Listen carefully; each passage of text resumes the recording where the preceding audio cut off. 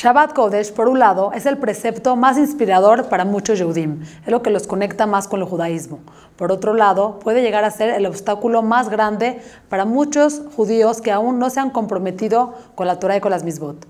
Shabbat Kodesh es uno de los diez mandamientos, uno de los Aseret Adibrot, el cuarto de los mandamientos. También es la mitzvah que más se repite en la Torah. ¿Cuál es la magia de Shabbat? ¿En cuántas ocasiones o en qué momentos Hashem nos dice que debemos de respetar Shabbat? Muchas veces lo repite. Cuando salimos de Egipto, cuando creó el mundo. Pero hay un lugar en particular que llama la atención. Es cuando el pueblo de Israel está comprometido con hacer el Mishkan. ¿Qué era el Mishkan? El Mishkan era el santuario, el tabernáculo, el lugar físico donde la presencia divina reposaría. Esa, este lugar donde el pueblo de Israel necesitaba tener como un contacto físico con la, con, con la presencia divina. Entonces, se les explicó en la Torah cómo tenía que ser el tabernáculo, qué trabajos tenían que hacer. Y justo en ese momento, cuando no tiene nada que ver, de pronto otra vez Moshe reúne a todo el pueblo de Israel, niños, niñas, adultos, jóvenes, todos, les dice una vez más, recuerden que Hashem dice que seis días trabajarán, más el séptimo día será un día Kodesh, un día santo para él. ¿Por qué a la mitad de todo este trabajo, de todo este tema que nada que ver, otra vez Shabbat? Para enseñarnos algo muy importante. Dice, dice Hashem, yo sé que están construyendo el Mishkan, que es un lugar donde va a reposar mi divina presencia, donde vamos a tener mucha unión y lo valoro y estoy contento por eso. Pero recuerden, ni por eso quiero que transgredan Shabbat. Shabbat es lo más importante. Van a trabajar seis días, pero el séptimo día no crean que porque es algo tan importante para mí van a poder traspasar las reglas de Shabbat. No, Shabbat es un día especial y hay que dejarlo en su, lugar y en su momento, además de todo el trabajo que ustedes tienen que hacer. Esto nos enseña todo el, todo el tema del Mishkan, además de que todo lo que hacían para construir este tabernáculo eran 39 melajot, son las 39 trabajos prohibidos que nosotros, los Yehudim, tenemos prohibido hacer en Shabbat. Uno podría pensar, bueno, si es el día de descanso, entonces yo descanso a mi manera. A mí me encanta dormir, entonces yo duermo todo el Shabbat. A mí me encanta ir a, jugar golf, entonces yo, la manera como me relajo es ir al campo de golf a jugar golf. No, bueno, a mí me gusta eh, ir a un restaurante porque no quiero cocinar, no quiero saber nada de la cocina. Para mí el día de descanso es no saber nada de la cocina. Nos dice Hashem, no. Hay alajot, hay reglas, y es importante que las conozcamos y que las sepamos, porque es la manera en la que respetamos Shabbat de acuerdo a la perspectiva de Akadosh Barujú, no de acuerdo a nuestra perspectiva, porque si lo hacemos así, entonces permitimos que Shabbat no tenga esa magia, esa cosa tan especial que nos hace a todos disfrutar tanto de este día, decir que ese es un oneg, es un día de placer, es un día de deleite. Si hacemos el Shabbat a nuestra manera, entonces estamos rompiendo con las reglas de Hashem. Por eso Hashem nos dice, recuerden, esas son las 39 melajot, las 39 trabajos prohibidos que tienen que abstenerse de hacer para que de esa manera cumplan mi Shabbat a mi manera, de acuerdo a mi óptica, de acuerdo a mi voluntad. Es el Shabbat Kodesh, de acuerdo a la voluntad de Hashem. Y cuando nosotros nos abstenemos de hacer cosas, que a lo mejor no creeríamos que son tan importantes o que, por ejemplo, alguien podría decir, bueno, para mí es mucho más pesado caminar tantas cuadras para ir al Betagneset, entonces yo me subo al coche y en tres minutos estoy ahí, estoy ahí. ¿Por qué tengo que, hacer todo ese esfuerzo de caminar? Para mí eso no es descanso, pero no es lo que es para ti, es lo que es para Hashem. Entonces cada vez que nos abstenemos de hacer algo que Hashem nos dijo que hay que abstenerse, nos elevamos, nos conectamos con Él porque estamos haciendo lo correcto. Es increíble cómo cualquier persona que cuida Shabbat, que ya está habituado a cuidar Shabbat, pueden ser las 2, 3 de la mañana y entras al baño, y aunque estás dormido, literalmente porque te acabas de despertar y vas al baño y regresas a la cama, puedes llegar a pensar, ay, es Shabbat, entonces no prendo la luz. O sea, hasta nuestro pensamiento se eleva. Cuando estamos en Shabbat entramos en otra dimensión. Es impresionante cómo podemos tener esa conciencia de que es Shabbat y nos abstenemos de hacer lo que no tenemos que hacer. Ahora los niños chiquitos, un niño chiquito de 2, 3 años te puede decir, mami, hoy no se prende la luz porque es Shabbat. Mami, ese juguete es muxé, no se puede usar en Shabbat, tiene música. ¿Cómo puede ser? Porque eso es lo que nos hace Shabbat. Nos elevamos y hacemos lo que Hashem quiere que hagamos. Y cuando respetamos de acuerdo a su voluntad, encontramos ese deleite y esa magia. Una vez una mujer me comentó que no tenía nada de convivencia familiar. Se quejó conmigo, me dijo, yo no sé qué hacer, mi Shalom Bay no está nada bien, no tenemos convivencia familiar. Le dije, pero ustedes son Shomrim Shabbat, ustedes cuidan Shabbat, ¿no? Sí, cuidamos Shabbat. Bueno, bueno, entonces Shabbat es una gran oportunidad para para platicar, para ponerse al corriente de lo que pasó durante la semana, tener un momento de convivencia familiar. ¿Por qué me dices que no tienen nada de convivencia familiar? Por lo menos un día a la semana, algo es algo, ¿no? Me dijo, es que, ¿qué crees? Mi esposo, él dice que como es su día de descanso, él descansa a su manera. Entonces, la verdad se la pasa viendo todo el día partidos de fútbol. No creas que prende la tele, no, no, no transgrede, no profana Shabbat. Pone algún timer y se prende y se apaga la tele solo. O sea, no es de que él hace lo prohibido. Sin embargo, está viendo la tele todo el día. Ah, no, bueno, pues esto no es Shabbat, por eso no tienes convivencia. Shabbat es un día en el que tenemos que hacer la estructura que hay que, tener, ir al Betacneset, escuchar una clase de Torah, regresar, hacer la seudá, cantar, comer, eh, platicar, descansar, otra vez el Betacneset, mija. Cuando tienes una estructura, estás cumpliendo con, con, el programa de Hashem para Shabbat y de esa manera puedes obtener el beneficio tan maravilloso que tiene Shabbat. Es como cuando haces una receta. Díganme si no. Vas a casa de una amiga, comiste un pastel delicioso y le pides la receta. Si es buena contigo y te quiere dar la receta, te la va a dar bien. A veces hay gente que no les gusta dar sus recetas porque no quieren que les copien sus postres. Digamos que te da la receta bien y tú llegas a tu casa a hacerla. ¿Qué tienes que hacer para que el pastel te quede exactamente igual que el de tu amiga? Hacer la receta tal cual. No puedes ni omitir ningún ingrediente, ni aumentar ningún ingrediente. Hacer las medidas tal cual te las está especificando tu amiga. Y de esa manera, muy probablemente tengas el mismo resultado que el resultado del pastel de tu amiga. Lo mismo es con Shabbat. Hay gente que cuida Shabbat, pero no lo cuida como debe de ser. Hace lo que quiere, hace lo que para él, a su perspectiva, a su óptica es relajarse o es no cansarse, pero eso no es Shabbat. Shabbat tiene sus reglas, Shabbat tiene sus detalles y cuando lo hacemos de esta manera traemos mucha bendición a nuestro hogar. El mundo dice que el sábado es el fin de semana. feliz fin de semana porque ya acabó la semana, para nosotros los Yehudim no. Para nosotros el Shabbat es el centro de la semana. ¿Por qué? Porque los primeros días, tres días de la semana, domingo, lunes y martes, son sustentados y son bendecidos por el Shabbat que recién terminó. Y los últimos tres días de la semana, miércoles, jueves y viernes, reciben su sustento y su bendición por el Shabbat que está por venir. Es decir, Shabbat es Mekora Berajá. Shabbat es la fuente de bendición.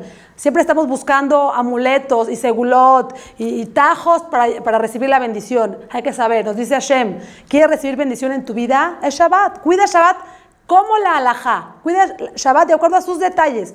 Como yo te digo que debe de ser Shabbat, no como a ti se te antoja. Y de esa manera te aseguro que vas a tener bendición en todo.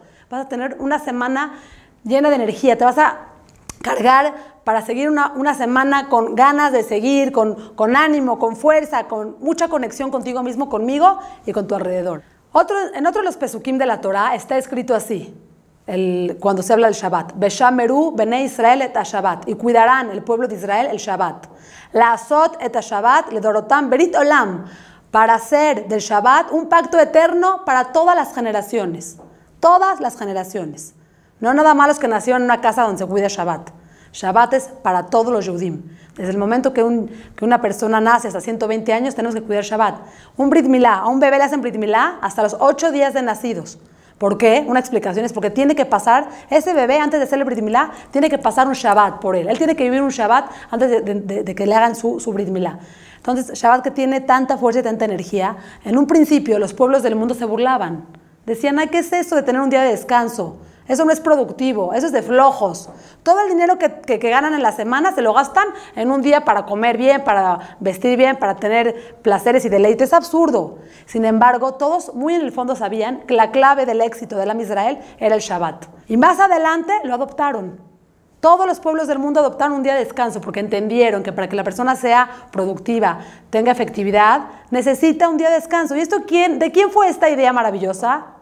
De Akadosh Barujú, desde que creó el mundo, Hashem que sabe perfectamente cómo funcionamos, cómo funciona su mundo, cómo funciona el ser humano y sabe que necesita tener un día para recargar, para reconectarse con él mismo, para hacer un stop en su semana, Hashem nos los propuso desde el primer momento y hoy todo el mundo lo sigue porque claro, es una idea divina cuidar Shabbat, tener un día de descanso.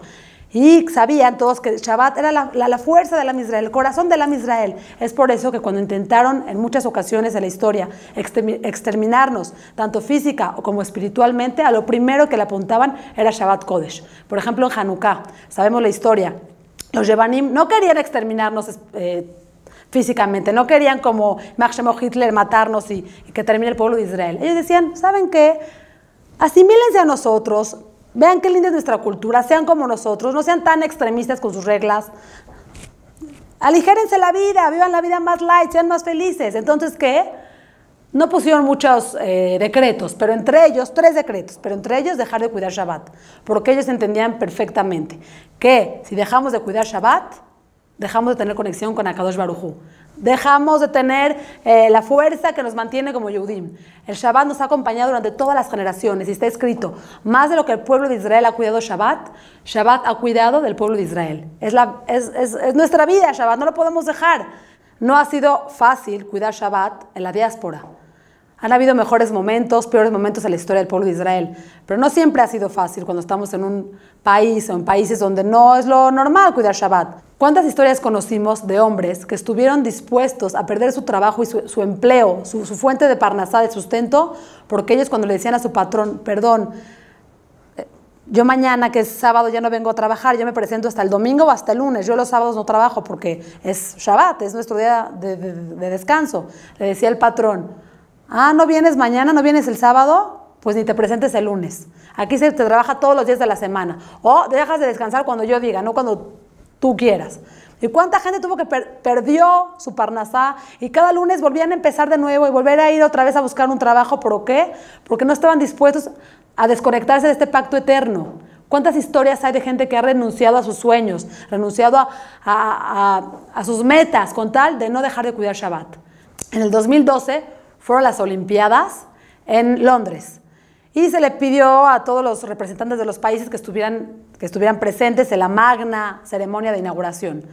El detalle es que era viernes esta, esta inauguración. Entonces, cuando la comitiva de Israel, todo el, del equipo de Israel, invitaron a Shimon Pérez, en ese momento que era el presidente de Israel, estaban preocupados para ver dónde iba a dormir el presidente, porque junto a la Villa Olímpica no había un hotel. ¿Y cómo iban a hacer para que el presidente caminara? Era un trayecto muy largo. Entonces trataron de ingeniárselas, de, tratar de ver otras estrategias. Entonces, cuando vieron que no se pudo solucionar, Shimon Pérez se disculpó y dijo, yo no voy a profanar Shabbat. Yo no tengo cómo, dónde dormirme para llegar caminando. Entonces él se disculpó y dejó de asistir a esta a este momento tan especial. ¿Cuánta gente ha dicho, yo me comprometo al pacto eterno, porque yo soy parte de ese pacto eterno? Hashem programó las generaciones desde el principio. Él sabría, él supo desde un principio que vendría una generación como la que vivimos nosotros, en la que estamos con el estrés, en la que estamos con eh, tanta actividad, tanta presión, no tenemos un minuto de descanso a veces, estamos toda la semana con mil cosas en la cabeza.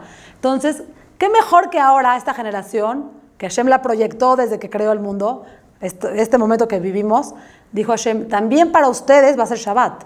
Y no crean que porque tienen este, televisión o que tienen otros medios o que tienen tanta tecnología, Shabbat va a ser diferente a como fue al principio. Shabbat siempre va a ser el mismo, tanto para la gente que vivió la época de Abraham Avinu como la gente que vivimos en esta época.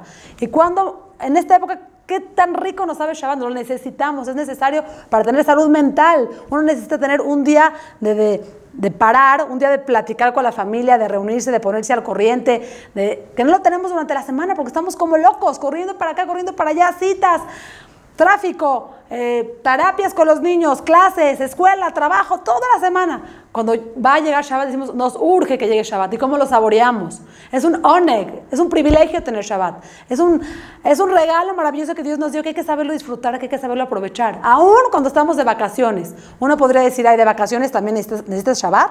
Ya, Shabbat es para descansar, para romper con la rutina. Pero cuando estás ya fuera de tu rutina, estás en la playa, tienes dos semanas en la playa, ¿poco necesitas también cuidar Shabbat? Claro que sí, porque Shabbat es un día diferente. En Shabbat nos vestimos diferente. En Shabbat comemos comida diferente. En Shabbat huele la casa diferente. Nuestras pláticas son diferentes. Es, tenemos que hasta caminar de manera diferente. No podemos correr en Shabbat. Shabbat es un día de paz, de tranquilidad. Hasta en vacaciones añoramos Shabbat, porque ese día de Shabbat le da sentido a toda la semana. Entonces, que sepamos, Shabbat es para todas las generaciones y más que nada para ahora, para nosotros. Es, es de inteligentes tomar esta opción y hacerla porque Hashem nos las dio y Hashem quiere que disfrutemos de su mundo y Hashem quiere que seamos personas efectivas, personas productivas, personas exitosas, personas que tengamos mucha conexión con nuestra familia y esta es la gran oportunidad. Hoy el mundo promueve, ten un día con tu familia, un día a la semana júntate con tu familia, claro, porque estamos tan desconectados unos de otros, porque cada quien tiene su dispositivo y cada quien vive en su propio mundo, es un mundo egoísta. Shabbat es el día donde no hay dispositivos, no hay televisión, no hay salir, solamente reunidos en la mesa, platicando, conversando de lo más simple, pero lo que más nos trae alegría y unión. Shabbat es el día para ser escuchados. Shabbat es el día para escuchar. Vivimos en una época en la que nadie escucha a nadie. Cada quien está en lo suyo, pero en Shabbat tenemos la oportunidad de escuchar a nuestros hijos, de escuchar a nuestra pareja, de platicar, de, contar nuestras vivencias de la semana, cómo sentimos a Dios cerca de nosotros, qué podemos agradecer de la semana. Es un momento de conexión, que tenemos eh, la oportunidad de vivir el hoy y el ahora. Ahora en esta época que estamos tan acostumbrados a querer vivir todo para afuera, que todos sepan, que todos se enteren. Una de mis hijas nació en Shabbat y obviamente no hubo ni, ni video ni, ni fotos. Entonces, cuando vemos los videos y las fotos de los demás partos de mis demás hijos, ella me dice, oye, mami, de mi parto, cuando yo nací, no, no hay ningún recuerdo porque fue Shabbat. Le dije, no creas. Aunque naciste hace 14 años, tu papá y yo tenemos todos los detalles de tu nacimiento, no guardados en el iPhone ni, en la cámara, en nuestro corazón, en nuestra mente, y nunca lo vamos a olvidar. Shabbat es eso. Shabbat es vivir lo que está pasando en este momento, no querer compartir con los demás. También mi hijo caminó hace poquito. Mi chiquito dio sus primeros pasos un Shabbat. Y no, no existía esa ansiedad de córrele por la cámara, tómale video, mándaselo a la abuelita. No, estábamos disfrutando y agradeciéndole a Dios por ese momento, viviéndolo ahí. Eso es Shabbat. Shabbat nos ha acompañado por todas las generaciones y nosotros también tenemos que comprometernos con este pacto divino, pacto eterno, que es para siempre, para todos los Yehudim de todas las épocas. En una ocasión se juntaron los directivos del New York Times para decidir cómo sería una publicación del New York Times para el año 2100 qué sección eh, existiría, qué secciones ya no van a haber, de qué se va a hablar, qué va a ser lo más importante, cuál sería la primer plana. Y estuvieron debatiendo y discutiendo. Uno de ellos, un directivo no judío, dijo, yo no sé qué va a pasar para el 2100, las cosas están cambiando de manera abrupta, no, no estoy seguro qué va a pasar, pero hay algo que sí estoy seguro, que, en, la publicación del 2100 va a estar ahí. Nosotros todos los viernes en el, periódico publicamos el horario en el que las mujeres prenden las velas. Las mujeres judías prenden las velas antes de su Shabbat. Yo no sé qué va a pasar con el mundo, pero estoy seguro que en el 2100, 100% va a, va a existir ese cuadrito, ese encendido de velas, porque los judíos nunca, nunca van a abandonar Shabbat. Que Bezrat Hashem pronto veamos al Mashiach para que podamos sentir lo que es un Shabbat eterno, porque Shabbat es una probadita de lo que es el Olam Abba. Y el que disfruta Shabbat va a tener la oportunidad de poder disfrutar toda la eternidad.